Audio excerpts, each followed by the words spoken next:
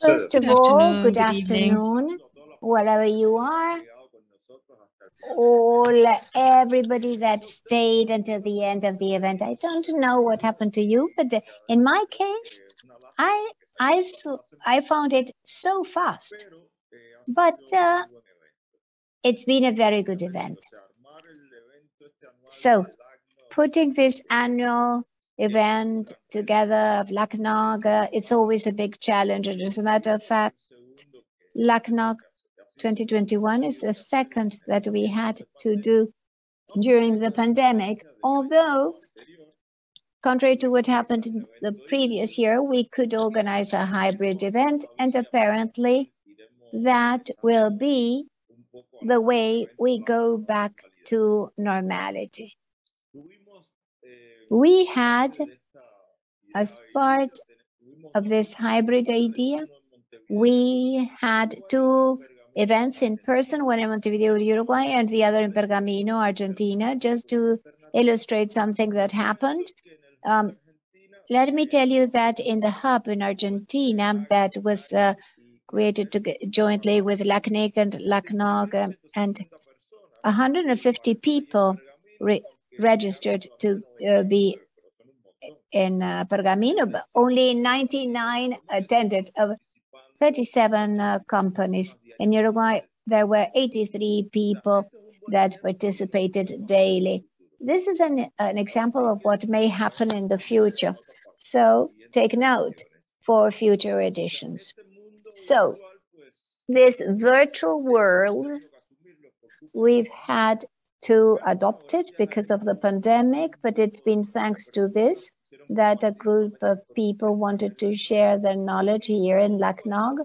And even when we would have liked to receive many more proposals, the truth is that we had enough material for an excellent uh, agenda that I think that you um, could uh, benefit from uh, on Wednesday in the afternoon, and then a panel yesterday why the with the ROA, the the first day with the uh, network security, and yesterday too with the BGP communities.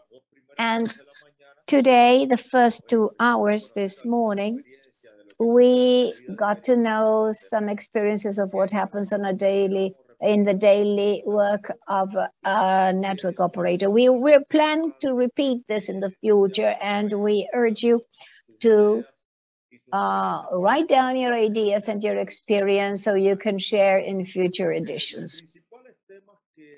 The main topics that we discussed this year were the internet infrastructure, network operations, IPv6 uh, routing, and network security. The countries most represented were the United States, Brazil, and Argentina.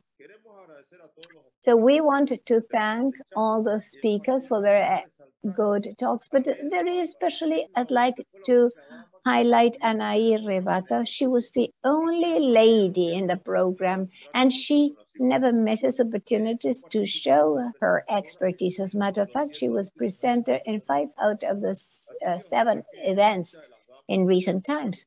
So many of the ladies in the community do an excellent job because I know, well, there are many that could present proposals for next year. Of course, this event wouldn't have been possible if, if the internet and its apps had not behaved themselves.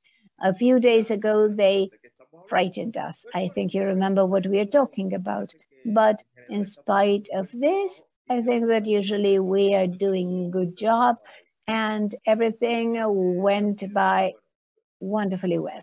So it's been very good. You may imagine, maybe some better than others, the number of messages and uh, chat mails uh, in, in, this event, either with the staff of LACNIC, whom we always thank for their excellence, and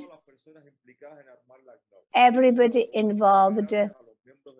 So I want to thank the programs committee and the board and uh, Leah, our manager, and all in charge of the social media, the working group, um, the translation uh, group that make it easier for us, and all those who, one way or the other, have entered the Inter for to have a wonderful event. And I don't want to forget those who have collaborated with Kahoot's Great success.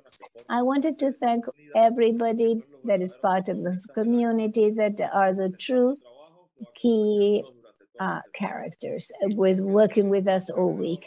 I think that we are now, we now have a new energy and we will have a lot of new knowledge and we'll be able to face new challenges when we go back to our daily life on Monday.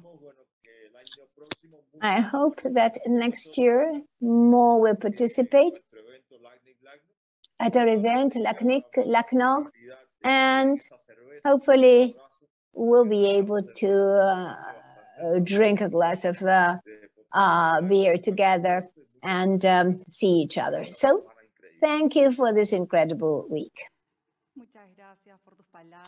Thank you for your words, Jorge.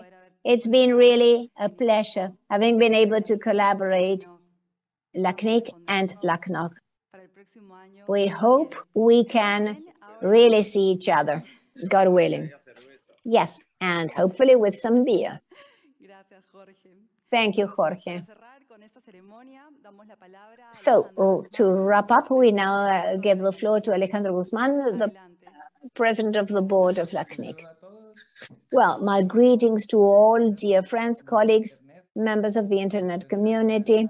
After a week of many, many activities, tutorials, technical presentations, different uh, conversations, we reached the end of an excellent event once again.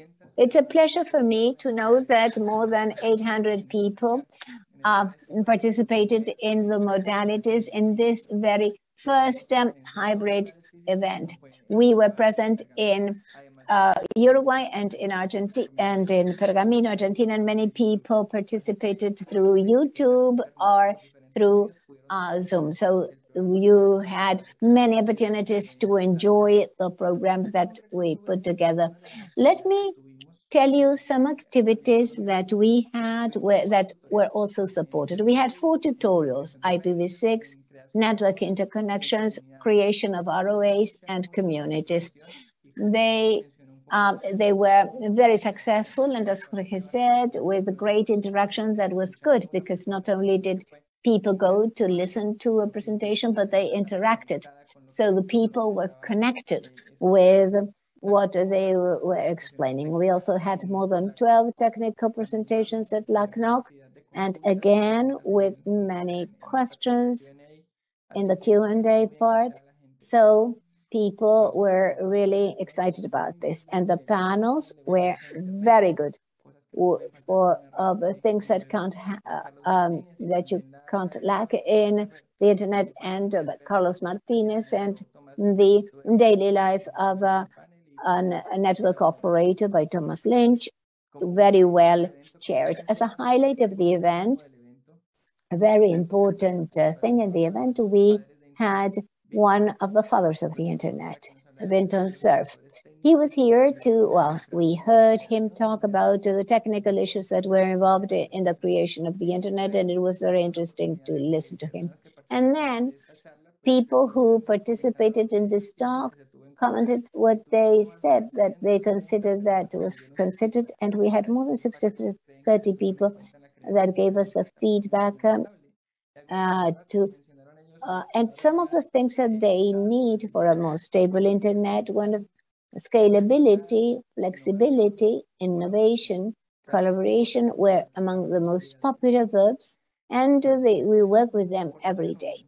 We also have a very important uh, well announcement, and that is that uh, we have the second round for technical uh, women. And this is part of the commitment of uh, LACNIC to promote the participation of women, both in governance or in technical issues, and to help them develop their activities to be even more active in the community. The first edition was successful. We thank all those who participated and uh, that were involved in the second edition that is about to start. It's excellent. And these are commitments that as an organization, we also had of the importance of increasing the participation of women. And we also wanted to thank all those women that in this event participated one way or the other. Congratulations and thank you for your support.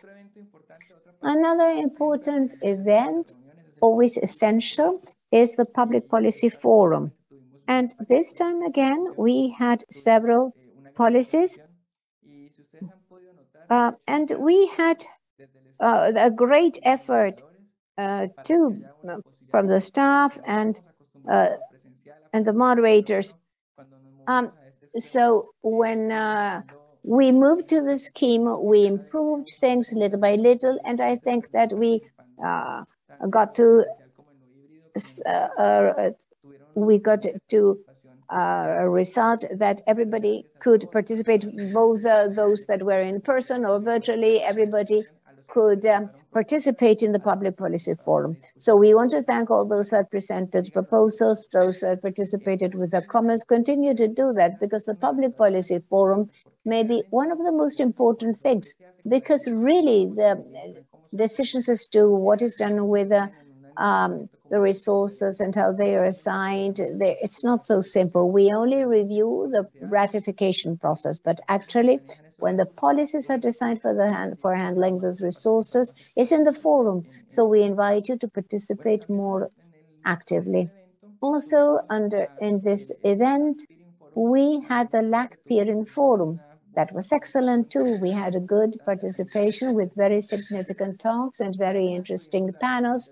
And in addition to that, we had the first meeting. So now I would like to take some time to specifically thank all of those that made it possible. Um, so thank you for your time. So the authors